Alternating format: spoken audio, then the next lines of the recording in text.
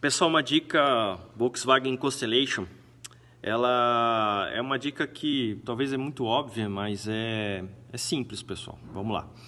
É, acusa a falha correlação pedal de acelerador e freio, tá? Por que que acusa essa falha? Acusa essa falha, pessoal, porque é, o módulo está entendendo que está pressionado o pedal de freio e acelerador ao mesmo tempo. Então, quando acontecer isso, você tem um problema no pedal de acelerador, que ele reconhece que ainda está acelerado o carro a hora que você tirou o pé, ou o pedal de freio, que ele reconhece que está pisando no freio e acelerando ao mesmo tempo. Então, verifica através do raster, nas leituras ali, vê se o interruptor, que é muito problemático o interruptor. Claro, o pedal também pode ser o problema, mas dá uma olhada no interruptor que é fácil de você ver.